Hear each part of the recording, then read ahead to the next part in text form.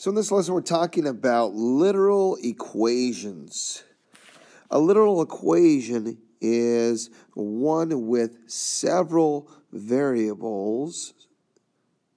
An equation with several variables that we can solve for any variable we want to.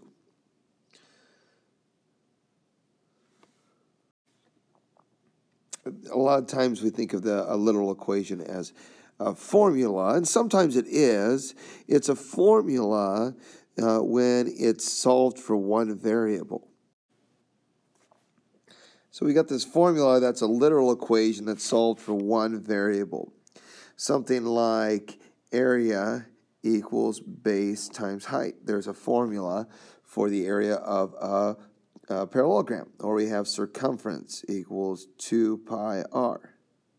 There's a formula all ready to go solve for one particular variable.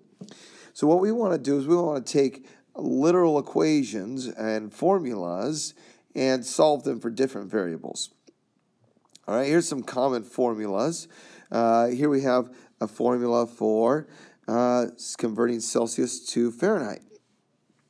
So in this formula here, if you know Fahrenheit and you want to find Celsius, it's all ready to go. However, what if you knew Celsius and you wanted to find Fahrenheit? Well, I don't have that equation here. Well, no problem. We can take this equation and we can change it. So we have our formula 5 ninths times f minus 32. And we want to solve it here for, for f. Okay, so let's solve for f. For Fahrenheit. All right, well, to do that, we need to get this 5 ninths out of here. So this is 5 ninths times all of this in the parentheses. So just consider this as one number. And we need to multiply by the reciprocal. If you want to get rid of a fraction, multiply by the reciprocal 9 fifths.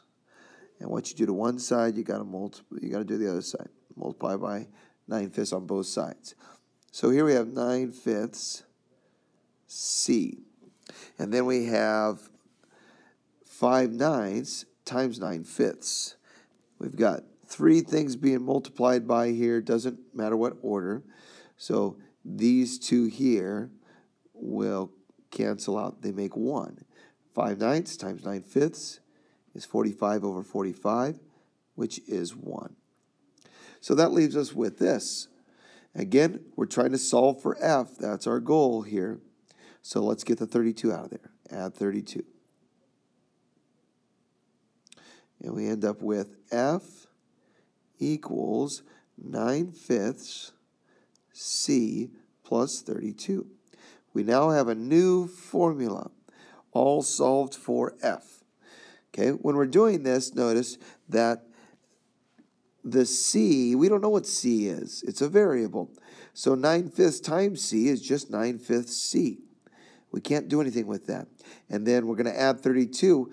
Well, we don't know what c is, so we can't really add it. We just write it as an expression. Well, how about this one? Here's a formula. I equals p times r times t. That's for figuring out the interest that you get. P is the principal which you put into the bank first. R is the interest rate you're going to get as a decimal. T is the time that you leave the money in the bank. And if you use this formula, you'll figure out how much interest money you get at the end of a certain amount of time. So uh, let's try this out. Let's take that formula, I equals PRT. And let's solve it for r. Okay, because let's say you, you want to be able to figure out the rate you need to get a certain interest. All right, well, we're going to solve for r. This is p times r times t. So we want to get rid of the p. So we're going to divide by the p. We also want to get rid of the t, so let's divide by that at the same time. Trying to solve for r, so we get pt. And we say, well, what is i divided by pt here? Well, i divided by pt is just I divided by pt. You can't do anything with it because they're all variables. So we end up with I divided by pt equals r. I'm going to go ahead and put the r over here because we kind of like that as a formula. There we go. So there's a new formula. If you know the interest that, uh, that you want, let's say I want an interest of $100. And you know the principal. Well, I know I'm going to put $1,000 in the bank. And you know the time that you want to leave it there. I'm going to leave it there for 10 years.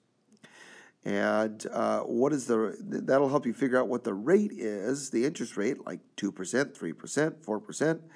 What's the interest rate you need to make that happen? We could also do this. We could solve for t, okay? Uh, by doing this, let's take our original equation, PRT, and we want to solve it for t. Well, these are all multiplied, so I want to get t all by itself, so I got to get the p and the r out of there. Well, they're multiplied, they're connected to the t by multiplication, so let's divide by t. No, I'm sorry. Let's divide by uh, p and r, not t. We want to leave t alone. Divide by pr. And that will cancel out the p and the r. Just like here, the p and the t canceled out because they make 1. And that leaves us with, on the right side, we have i over PR, and that's equal to T. I'm going to flip it around to put the T on the left. There you go. There's a formula for T. All right, and that's the idea. One more example, and we'll call it good. Here's a distance formula. Distance equals rate times time. So uh, we have distance that we travel equals the rate times the time. But let's say we want to solve that for t. Okay, we want to solve this for t. Well, again, the t is connected to the r by multiplication. Why don't you try it real quickly? Maybe write this down and pause it and try it out, see what you can get. Can you solve it for t? So if we want to solve for t, we can divide by r, because that's the thing we don't want. We want t all by itself, and that'll cancel the r's out there. And uh, we, we're left with d divided by r is equal to t. It's okay if you leave the t on the right side. It's not that big of a deal, but we usually like it on the left. So this is just telling us now that if you know the distance you got to travel, I'm going 100 miles. You know the rate. I'm going 50 miles per hour. You want to go 100 miles, divided by 50 miles per hour, that's going to take us two hours.